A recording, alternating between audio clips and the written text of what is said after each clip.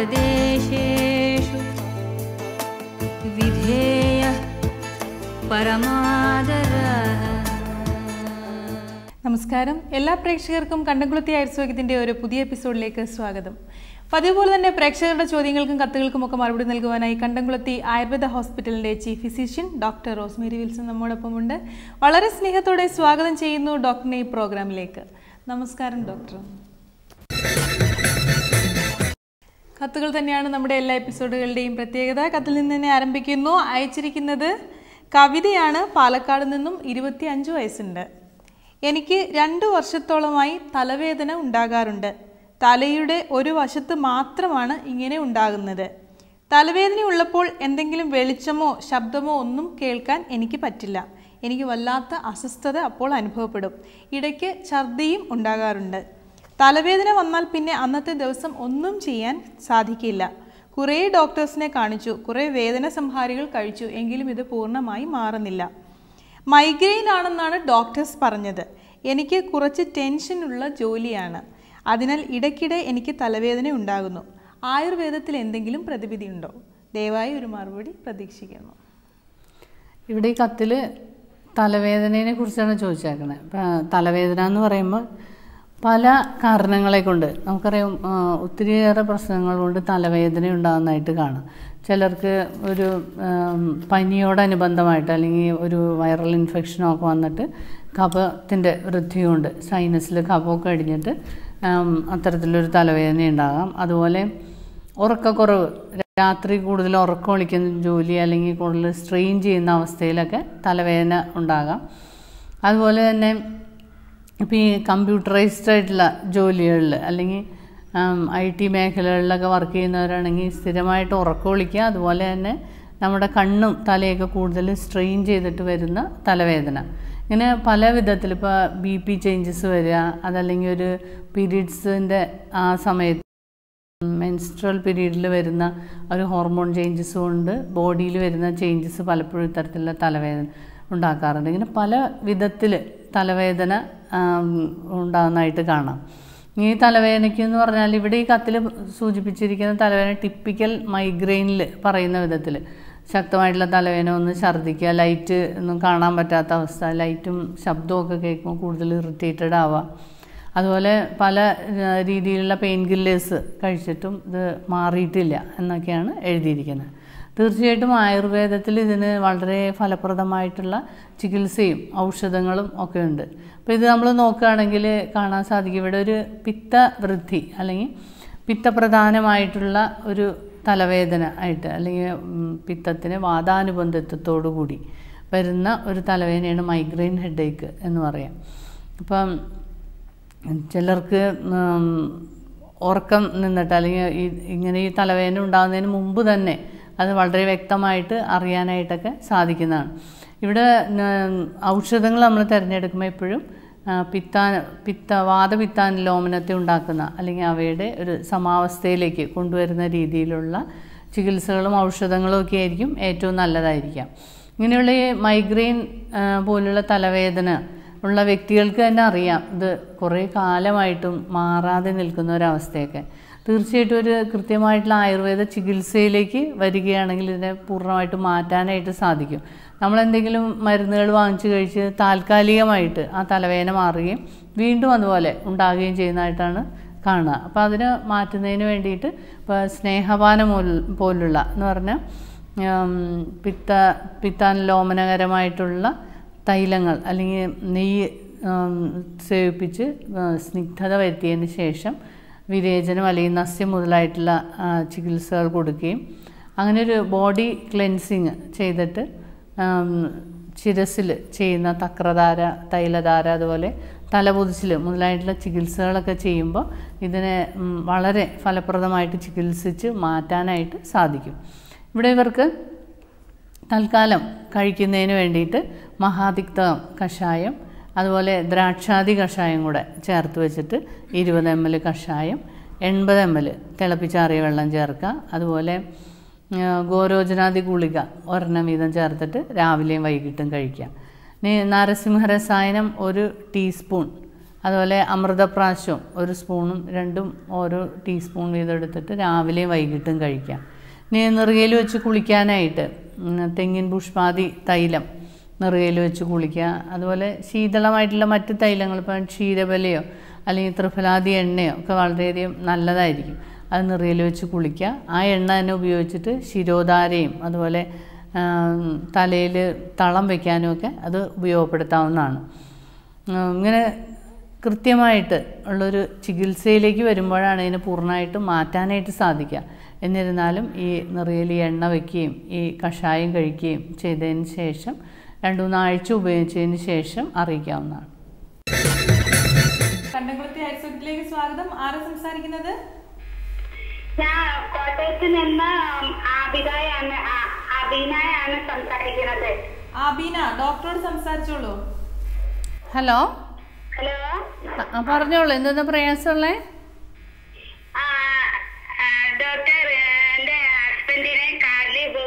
ഉണ്ട് അതിന് ചെറിയ ഞരമ്പാണ് തടിച്ചു കിടക്കുന്നതേ. ആ എന്ത് പ്രായമുള്ള ആളാ? ആ അറുപത്തൊന്ന് വയസ്സുണ്ട്. ആ കാലിൽ ചൊറിച്ചിലോ പൊട്ടലോ അങ്ങനെയൊന്നും ഇല്ലല്ലോ? എന്തോ? കാലിൽ പൊട്ടലുണ്ടോ? അതോ വെറുതെ ഞരമ്പ് തടിപ്പ് മാത്രമേ ഉള്ളോ? പൊട്ടലൊന്നുമില്ല പിന്നെ കൂടുതൽ യാത്ര ചെയ്യുന്ന ജോലിയാണ് ഹസ്ബൻഡിന്. അപ്പൊ കാലിന് നല്ലോണം നീര് വരും. പിന്നെ ഷുഗർ അങ്ങനെയൊന്നും ഇല്ലല്ലോ? ആ വേദനയില്ല? ഒരു കാലിന്റെ ഒരു സ്ഥലത്ത് ഒരു ചെറുതായിട്ട് വേദന ഉണ്ടെന്നാ പറയുന്നത് ഷുഗർ കൊളസ്ട്രോൾ അങ്ങനെ വല്ലതും ഉണ്ടോ? കൊളസ്ട്രോൾ ഉണ്ട്. ഷുഗർ ഒന്നുമില്ല. ഹലോ കൊളസ്ട്രോൾ ഉണ്ട്. കൊളസ്ട്രോൾ ഉണ്ട്. ഷുഗർ ഡയബറ്റിക് ആണോ? ഷുഗർ ഇല്ല. ഷുഗർ ഒന്നുമില്ല. ഇത് എത്ര നാളായിട്ട് ഇങ്ങനെ കാലുമ്പോ ഞരമ്പ് തടിപ്പായിട്ട്? ആ ഏഴു വർഷമായി ഇപ്പൊ. ഏഴ് വർഷമായിട്ടുണ്ട് ആ ആ. എന്തെങ്കിലും കഷായം അങ്ങനെ എന്തെങ്കിലും കഴിച്ചു നോക്കിയോ? കഷായം കഴിച്ചു നോക്കിയിരുന്നു. പിന്നെ ഞങ്ങൾ വേറെ ഒരു ഡോക്ടറെ അടുത്ത് പോയി കാണിച്ചായിരുന്നു. അന്നേരം ആ ഡോക്ടർ ഒരു ഈ മുറിവെണ്ണയും പിന്നെ വേറെ ഒരു ചിഞ്ചുവാതി തൈലവും മുറിവെണ്ണയും കൂടെ കൂടിയിട്ട് കാലിൽ പുരട്ടാൻ പറഞ്ഞായിരുന്നു. അതിങ്ങനെ ചൂടാക്കിയിട്ട് കാലിൽ പെരട്ടണുണ്ടായിരുന്നു ഇപ്പൊ കഷായം കഴിക്കാനായിട്ടേ രാസന സപ്തകം കഷായം വാങ്ങിക്കാം. കഷായത്തിന്റെ പേര് രാസന സപ്തകം. പിന്നെ ബലാഗുളൂച്ചാതി കഷായം വാങ്ങിക്കാം. ക്ലിയർ ആണില്ലല്ലോ മാം എന്നത് എന്ത് കഷായം? ബലാഗുളൂച്ചാതി കഷായം. പിന്നെ അത് ഇരുപത്. ആ ബലാഗുളൂച്ചാതി കഷായം. അത് മാത്രമല്ലോ അത് ഇരുപത് എം എൽ കഷായം എൺപത് എം എൽ വെള്ളം ഒഴിച്ചിട്ട് കാലത്തും വൈകിട്ടും കഴിക്കാം. ഈ- ഇരുപത് എം എൽ കഷായം ഉം, 80 ml വെള്ളം. വെള്ളം ഒഴിച്ച് കഴിക്കാം അല്ലേ? അതെ അതെ. പിന്നെ പിണ്ണതൈലം വാങ്ങിക്കാം. പിണ്ണതൈലം. ആ അത് കാലിൽ പുരട്ടി സോഫ്റ്റ് ആയിട്ട് മസാജ് ചെയ്ത് ചൂടുവെള്ളത്തിൽ ആവി പിടിക്കാം. ആ ഓക്കെ. ആ ഇതൊരു രണ്ടു മൂന്നാഴ്ച ചെയ്യ്. പിന്നെ വെള്ളമൊക്കെ തിളപ്പിച്ചു കുടിക്കാനായിട്ട് ഞെരിഞ്ഞിലും വയൽച്ചുള്ളിയും തഴുതാമയുടെ വേരൊക്കെ ഇട്ട് വെള്ളം തിളപ്പിച്ച് ആ വെള്ളം കൊടുക്കാം. ആ. ഇതിങ്ങനെ ഒരു മാസം ഉപയോഗിച്ചിട്ട് അറിയിച്ചോളൂ.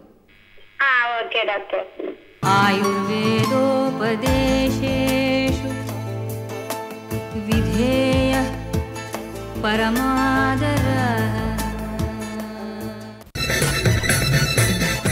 അടുത്ത കത്തയച്ചിരിക്കുന്നത് മാംഗ്ലൂരിൽ നിന്നും ഇബ്രാഹിമാണ്. അൻപത് വയസ്സുണ്ട്. എനിക്ക് ഇരുപത് വർഷമായിട്ട് നടുവേദനയാണ്. എം ആർ ഐ എടുത്തിരുന്നു. ഡിസ്ക് പ്രൊലാപ്സ് ആണെന്നാണ് ഡോക്ടർ പറഞ്ഞത്. കുറേ മരുന്നുകൾ കഴിച്ചു. പിന്നെയും നടുവേദനയാണ്. ഇതിനിടയിൽ കുറേ ആയുർവേദവും ഞാൻ ഉപയോഗിച്ചിരുന്നു. ഇപ്പോൾ വേദന സഹിക്കാൻ പറ്റാത്ത അവസ്ഥ വരുമ്പോൾ എന്തെങ്കിലും വേദന സംഹാരികൾ കഴിക്കും. ചെറിയ ലിവർ കംപ്ലൈന്റ് ഉണ്ട്. അതിനും ഞാൻ മെഡിസിൻ കഴിക്കുന്നുണ്ട്. ഷുഗർ തുടങ്ങിയിട്ട് പത്തു വർഷമായി ഇൻസുലിൻ എടുക്കുന്നുണ്ട്. കൊളസ്ട്രോളും ഉണ്ട്. ഇതിനെല്ലാം കൂടി ആയുർവേദം എന്തെങ്കിലും പരിഹാരമുണ്ടോ? ട്രീറ്റ്മെന്റ് നിർദ്ദേശിക്കാമോ? ഒരു മറുപടി പ്രതീക്ഷിക്കുന്നു. ഇവിടെ കത്തിൽ അൻപത് വയസ്സായിട്ടുള്ള ഒരു വ്യക്തി എഴുതിയിരിക്കുന്ന കത്താണ്. അദ്ദേഹത്തിന് വളരെയധികം പ്രശ്നങ്ങളുണ്ട്. പൊതുവായിട്ട് ഡിസ്ക് പ്രൊലാപ്സിന്റെ ഒരു പ്രോബ്ലമായിട്ടാണ് ചോദിച്ചിരിക്കുന്നതെങ്കിലും അതിനോട് കൂട്ടത്തിൽ അതിനേക്കാൾ ഗൗരവമായിട്ട് നമ്മൾ ചിന്തിക്കേണ്ട പല അസുഖങ്ങൾ ഇപ്പോൾ ഷുഗർ ഉണ്ട് കൊളസ്ട്രോൾ ഉണ്ട് അതിനോടനുബന്ധമായിട്ട് ചിലപ്പോൾ കൊളസ്ട്രോൾ കൂടുതലായിട്ട് നിൽക്കുന്ന അവസ്ഥയിലായിരിക്കണം ഫാറ്റി ലിവർ ചേഞ്ചസ് കൊണ്ട് വന്നിരിക്കുന്ന ലിവർ ചേഞ്ചസ് ആയിരിക്കണം. അദ്ദേഹം കൃത്യമായിട്ട് എഴുതിയിട്ടില്ല. ചെറിയ രീതിയിൽ ലിവറിന് കംപ്ലൈന്റ് ഉണ്ട് എന്നാണ് എഴുതിയിരിക്കുന്നത്. ഇതിനെല്ലാം കൂടെ ആയുർവേദത്തിൽ മരുന്ന് ഉണ്ടോ എന്നാണ് ചോദിച്ചിരിക്കുന്നത്. നമ്മുടെ കുറേ രോഗങ്ങളെയെല്ലാം എന്ന് പറഞ്ഞാൽ കുറേ അസുഖങ്ങളെയെല്ലാം നമ്മുടെ ജീവിതശൈലിയെ നിയന്ത്രിക്കുന്നുണ്ട് അല്ലെങ്കിൽ നമ്മുടെ ആഹാര രീതിയെ ഒന്ന് ക്രമീകരിക്കുന്നതുകൊണ്ട് നമുക്ക് തടക്കാനും അതുപോലെ ഇപ്പോഴുള്ള അവസ്ഥയ്ക്ക് വളരെയധികം സുഖം കിട്ടാനും ഒക്കെ സാധിക്കുന്നതാണ്. അത്തരത്തിലുള്ള അവസ്ഥകളാണിത് കൊളസ്ട്രോൾ ഷുഗർ ഇങ്ങനെയുള്ള വരുന്ന ബുദ്ധിമുട്ടുകൾ അപ്പോൾ അതിനെയൊക്കെ കൺട്രോൾ ചെയ്ത് വെക്കാനായിട്ട് ഒരു ആഹാര ക്രമീകരണം കൊണ്ടുവരാം. എപ്പോഴും ലൈറ്റായിട്ടുള്ള ആഹാരം കഴിക്കുക. ലോ കലോറി ഡയറ്റ് കൊഴുപ്പുള്ളത് വറുത്ത് പൊരിച്ചത് മാംസവും അതുപോലെ മുട്ട മുതലായൊക്കെ ദിവസവും ഉപയോഗിക്കുന്ന വ്യക്തികളാണെങ്കിൽ അത് കുറയ്ക്കുക. അതുപോലെ നാരടങ്ങിയിട്ടുള്ള ഫൈബ്രസ് ആയിട്ടുള്ള വെജിറ്റബിൾസ് ധാരാളം കഴിക്കുക. സാലഡ് കഴിക്കാവുന്നതാണ്. വെള്ളം ധാരാളമായിട്ട് കുടിക്കുക. വെള്ളം നന്നായിട്ട് കഴിക്കുമ്പോൾ നമ്മുടെ ശരീരത്തിലുള്ള അഴുക്കിനെയും അതുപോലെ തന്നെ ഈ ഡയബറ്റിക് പേഷ്യന്റൊക്കെ ആകുമ്പോൾ അതിൽ വരുന്ന യൂറിൻ ഫിൽട്രേഷൻ ഒക്കെ നല്ല രീതിയിൽ നടക്കാനും അഴുക്കിനെ പുറത്തേക്ക് കളയാനൊക്കെ അത് സഹായിക്കും. പലപ്പോഴും നമ്മൾ വെള്ളം വളരെ കുറവ് കുടിക്കുന്ന വ്യക്തികളൊക്കെയാണ്. അതിന്റെ സാഹചര്യത്തിനനുസരിച്ച് ഓഫീസിലൊക്കെ ഇപ്പോൾ യൂറിനെല്ലാം ഇടയ്ക്ക് പോകാൻ പറ്റാത്തതുകൊണ്ട് വെള്ളം കുടിക്കാത്തവരും ഉണ്ട്. എപ്പോഴും ഈ വെള്ളം നമ്മൾ നന്നായിട്ട് കുടിക്കുമ്പോൾ നമ്മുടെ ശരീരത്തിനെ ക്ലെൻസ് ചെയ്യാനൊക്കെ അത് ഏറ്റവും സഹായിക്കും. ഇവിടെ ഇദ്ദേഹത്തിന് ഡയബറ്റിക് ആണെന്ന് എഴുതിയിട്ടുണ്ട്. അപ്പോൾ അതിന് പറ്റുന്ന രീതിയിലുള്ള ഔഷധങ്ങളിട്ട് സംസ്കരിച്ച വെള്ളം കുടിക്കുന്നതായിരിക്കും നല്ലത്. അപ്പോൾ ഞെരിഞ്ഞിൽ കരിങ്ങാലിക്കാതൽ നെല്ലിക്കത്തുണ്ട് ചെറുള്ള വേര് ഇതൊക്കെ ഇട്ട് വെള്ളം തിളപ്പിച്ചിട്ട് വെള്ളം ധാരാളമായിട്ട് കഴിക്കാം. പിന്നെ ഡയറ്റ് റെഗുലേഷനിൽ വരുമ്പോൾ നമുക്ക് വീട്ടിൽ തന്നെ ഉപയോഗിക്കത്തക്ക വിധത്തിൽ കൂവളത്തിന്റെ ഇല അരച്ച് ദിവസവും രാവിലെ കഴിക്കാവുന്നതാണ്. അതുപോലെ നെല്ലിക്ക ചതച്ച് നീരെടുത്ത് മഞ്ഞൾപ്പൊടി ചേർത്തിട്ട് കഴിക്കുക. ഇതൊക്കെ ഷുഗർ കൺട്രോൾ ചെയ്യാനൊക്കെ വളരെയധികം സഹായിക്കുന്ന ഒരു ചെറിയ ഏറിയ അല്ലെങ്കിൽ വീട്ടിൽ നിന്ന് എടുത്ത് ഉപയോഗിക്കത്തക്ക വിധത്തിലുള്ള ഔഷധങ്ങളാണ്. ഇനി ഇദ്ദേഹത്തിന് മെയിനായിട്ട് എഴുതിയിരിക്കുന്ന അദ്ദേഹത്തിന്റെ ഡിസ്കിന്റെ പ്രോബ്ലമാണ് ഡിസ്ക് പ്രൊലാപ്സ് കൊണ്ട് അദ്ദേഹത്തിന് ശക്തമായിട്ടുള്ള വേദനയുള്ളതായിട്ടും ആദ്യം മരുന്നൊക്കെ പെയിൻ കില്ലേഴ്സ് കഴിക്കുമ്പോൾ കുറച്ച് കുറവുണ്ടാവാറുണ്ട്. ഇപ്പോൾ കൂടുതലായിട്ട് ബുദ്ധിമുട്ട് ഉണ്ടാക്കുന്നു എന്നാണ് എഴുതിയിരിക്കുന്നത്. അപ്പോൾ ഇതുപോലെയുള്ള ഡിസ്ക് പ്രൊലാപ്സ് മുതലായിട്ടുള്ള രോഗാവസ്ഥയിൽ നമ്മളൊരു കഷായം കഴിക്കുന്നതുകൊണ്ടോ അല്ലെങ്കിൽ ഒരു കുഴമ്പ് മാത്രമായിട്ട് പരത്തുന്നതുകൊണ്ട് ആ രോഗാവസ്ഥയെ പൂർണമായിട്ട് മാറ്റാനായിട്ട് പറ്റുന്നതല്ല. നമ്മൾ ലോക്കലായിട്ട് കുഴമ്പ് പുരട്ടി ഒന്ന് ആവി പിടിക്കുമ്പോൾ നമുക്ക് ആ ഒരു വേദന പെയിൻ കില്ലർ കഴിക്കുന്ന പോലെ തന്നെ ഒരു ചെറിയ റിലീഫ് അതിൽ നിന്നുണ്ടാവുന്നു. അല്ലെങ്കിൽ കുറച്ച് നാൾ അടുപ്പിച്ച് ഉപയോഗിച്ചാൽ ആ ഉപയോഗിക്കുമ്പോൾ സുഖം ഉണ്ടാകുന്നത് എന്നാലൊരു കൃത്യമായിട്ടുള്ള ചികിത്സയിലേക്ക് വരിക. അപ്പോൾ കടീവസ്തി മുതലായിട്ടുള്ള ചികിത്സകൾ അതുപോലെ ലോക്കലായിട്ട് ചെയ്യുന്ന ഉപനാഹസ്വേദങ്ങൾ ആ ഇന്റർവെട്രിബിൾ ഡിസ്കുകൾക്ക് ഇടയ്ക്ക് വരുന്ന ആ നീർക്കെട്ടിനെയും അല്ലെങ്കിൽ പ്രൊലാപ്സ് മൂലം വരുന്ന അവിടെ ഉണ്ടാകുന്ന നെർവിന് വരുന്ന ഒബ്സ്ട്രക്ഷനെയൊക്കെ തീർക്കാനായിട്ട് ഇത്തരത്തിലുള്ള ചികിത്സകൾ എപ്പോഴും സഹായിക്കുന്നതാണ്. അതുപോലെ വസ്തി പോലുള്ള സ്നേഹവസ്തിയും കഷായ വസ്തിയൊക്കെ പോലുള്ള വസ്തി പ്രയോഗങ്ങൾ ഇത്തരത്തിലുള്ള വാദത്തിന്റെ അല്ലെങ്കിൽ വായുവിന്റെ ഒബ്സ്ട്രക്ഷൻ മൂലം വരുന്ന ഡിസ്ക് പ്രോബ്ലങ്ങളിൽ ഏറ്റവും ഗുണപ്രദമായിട്ടുള്ള ചികിത്സാ രീതിയാണ്.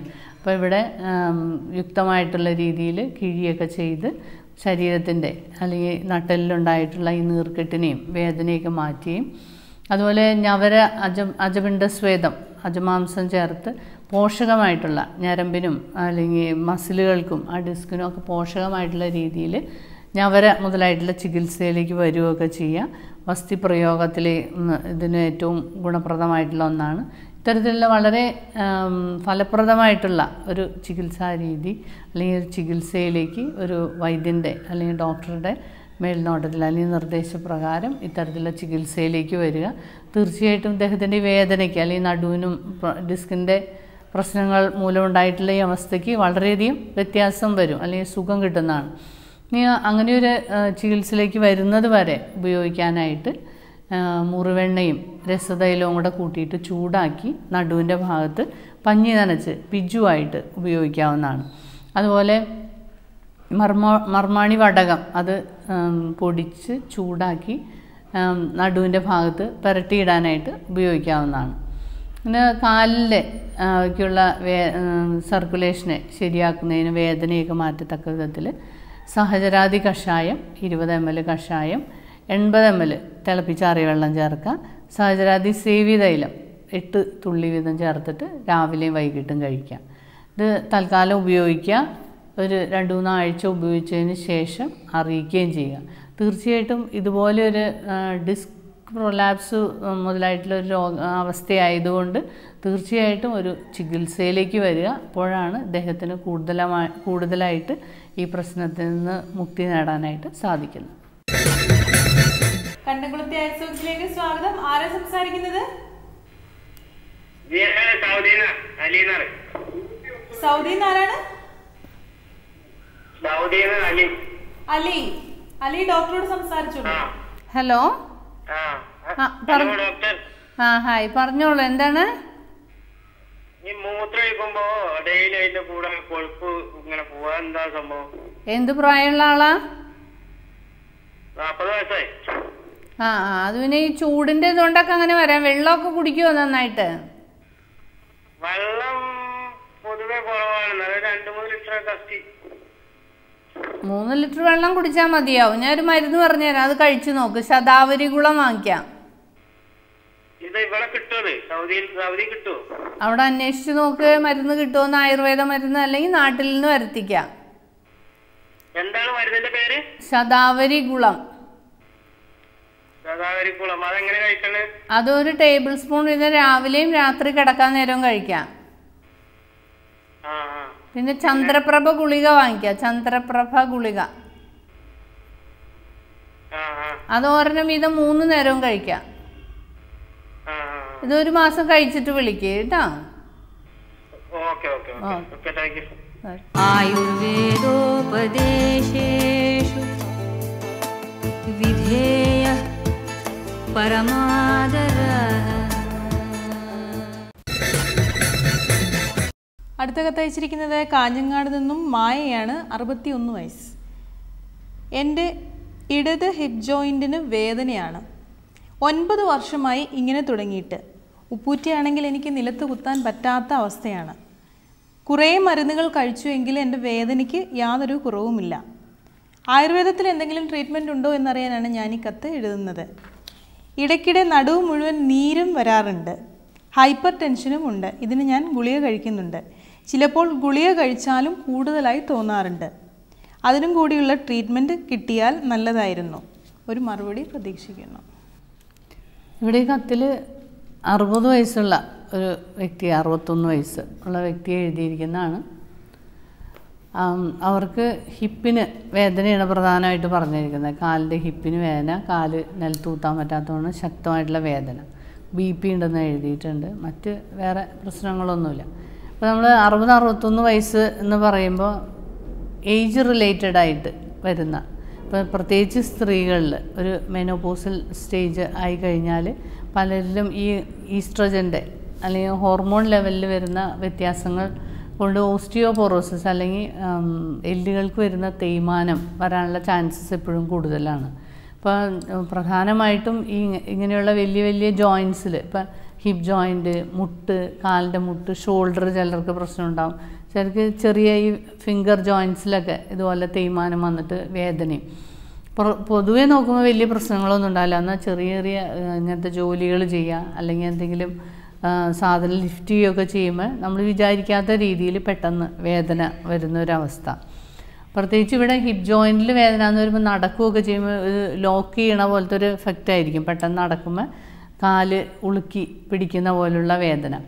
എന്ന് പറഞ്ഞാൽ ആ ബോൾ സോക്കറ്റ് ജോയിന്റിൽ വരുന്ന ഡീഹൈഡ്രേഷൻ അവിടെ വരുന്ന ഒരു ഫ്ലൂയിഡിൽ വരുന്ന കുറവ് ആ ബോണുകളെ കൂടുതൽ അടുപ്പിക്കുകയും അതുപോലെ അവിടെ ഓസ്റ്റിയോഫൈറ്റ്സ് ഫോം ചെയ്യാം അതുപോലെ ഡീജനറേറ്റീവ് ചേഞ്ചസ് വന്നിട്ട് ഓസ്റ്റിയോ ആർത്രൈറ്റിസ് വരുന്ന ഒരവസ്ഥയാണിത്. ഇവിടെ ഒരു വാദ വായുവിന്റെ സ്ഥാനവും അതുപോലെ തന്നെ പിത്താനുബന്ധിത്വം കൂടിയുള്ളൊരു അവസ്ഥയായിട്ടാണ് ഇവിടെ ഈ വേദനയും ഇതൊക്കെ നമുക്ക് കാണാനായിട്ട് കഴിയും. അപ്പോൾ ഇവിടെ എന്ന് പറഞ്ഞാൽ ആ ഇതിന് പോഷകമായിട്ടുള്ള അല്ലെങ്കിൽ ഈ ആ ജോയിന്റിന് പോഷകമായിട്ടുള്ള കഷായങ്ങളാണ് നമ്മൾ കൊടുക്കുക അപ്പോൾ പാൽ കഷായങ്ങളായിട്ട് വയ്ക്കുമ്പോൾ നഗ്രോദാദിഗണം ഔഷധങ്ങൾ എടുത്തിട്ട് അത് കഷായം വെച്ച് പാൽ ചേർത്ത് പാൽ കഷായമായിട്ട് ഉപയോഗിക്കാം.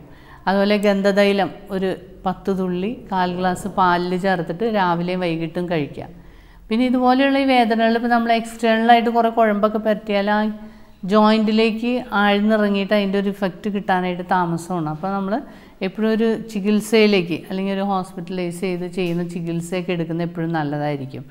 അവഗാഹ സ്വേദം ഇപ്പോൾ വാതളങ്ങളായിട്ടുള്ള അല്ലെങ്കിൽ വാദത്തെ ഹനിക്കുന്ന രീതിയിലുള്ള ഇലകളിട്ട് വെള്ളം വെന്തിട്ട് പാൽ ചേർത്തിട്ട് പാൽ കഷായമായിട്ട് ഉണ്ടാക്കിയിട്ട് അതിൽ ഇരുത്തുക.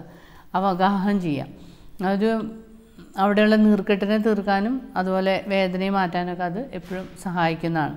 അതുപോലെ ലോക്കലായിട്ട് ചെയ്യുന്ന തൈലം കൊണ്ട് ചെയ്യുന്ന പിജു അല്ലെങ്കിൽ ലോക്കലായിട്ട് ചെയ്യുന്ന തൈലധാരയൊക്കെ ഇവിടെ എപ്പോഴും നല്ലതായിരിക്കും.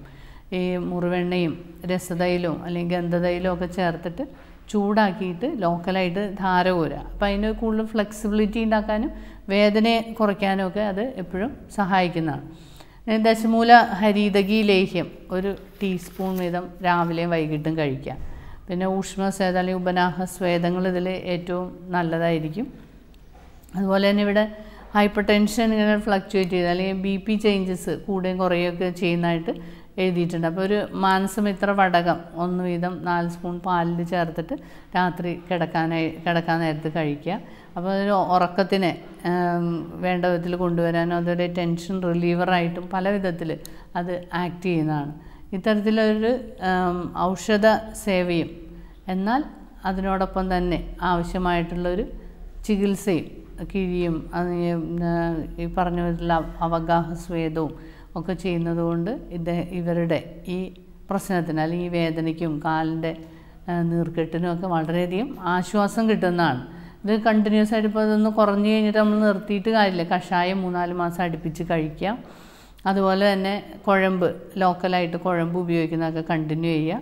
ഇത്തരത്തിലെ വാദ രോഗങ്ങളിൽ വസ്തികൾക്ക് അല്ലെങ്കിൽ വസ്തി പ്രയോഗങ്ങൾക്ക് അന്വാസനം അല്ലെങ്കിൽ തൈലവസ്തിക്ക് ഏറ്റവും ഗുണമുള്ള ചികിത്സയാണ് അപ്പോൾ അത് വളരെ ചെറിയ മാത്രയിൽ ഇപ്പോൾ അവരുടെ ഏജൊക്കെ നോക്കിയിട്ട് ചെറിയ മാത്രയിൽ തൈലവസ്തിക്കായിട്ട് ഉപയോഗപ്പെടുത്താവുന്നതാണ്. എന്തായാലും ഒരു രണ്ട് മൂന്നാഴ്ച കാലം ഈ മരുന്ന് ഉപയോഗിച്ചതിന് ശേഷം അറിയിക്കാം. നമ്മുടെ എപ്പിസോഡ് വൈൻഡപ്പ് ചെയ്യാൻ സമയമായിരിക്കുകയാണ്. പ്രേക്ഷകരുടെ ഇന്നത്തെ ചോദ്യങ്ങൾക്കും കത്തുകൾക്കുമൊക്കെ മറുപടി നൽകിയത് കണ്ടംകുളത്തി ആയുർവേദ ഹോസ്പിറ്റലിന്റെ chief physician doctor Rosemary Wilson ആണ് ഈ എപ്പിസോഡ് ഇവിടെ പൂർണമാകുമ്പോൾ പ്രേക്ഷകരായ നിങ്ങൾ ചെയ്യേണ്ടത് നിങ്ങളുടെ വലിയ അഭിപ്രായങ്ങളും നിർദ്ദേശങ്ങൾ പിന്നെ നിങ്ങളുടെ ആരോഗ്യ പ്രശ്നങ്ങളൊക്കെ ഞങ്ങളെ എഴുതി അറിയിക്കുക. അറിയിക്കേണ്ട വിലാസം to the producer Kandamkulathy Ayursoukhyam Jeevan T V Palarivattom Cochin twenty five ഞങ്ങളുടെ email I D Ayursoukhyam at Jeevan dot T V അടുത്തയാഴ്ച ഒരുപാട് കത്തുകളുമായി ഡോക്ടറോടൊപ്പം വീണ്ടും കാണാം. നന്ദി നമസ്കാരം. आयुर्वेदोपदेशेषु विधेयः परमादरः